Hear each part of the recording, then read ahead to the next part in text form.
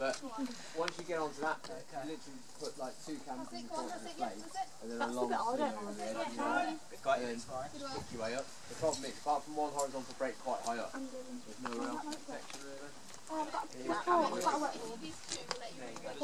Watch out, it's like a letter, then it just goes down. Okay. Yeah,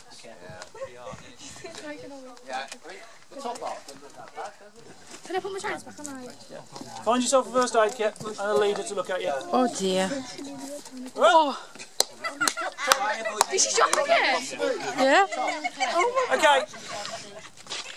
Did we, Tom? Did we bring any bouldering mats? Because I think we just need to sellotape one to a back. We need to like put them on three Ra- sides. all, all round her. What was she doing? What did she do? inflatable bag on the front. Anna! Just try to tie herself up. Anna!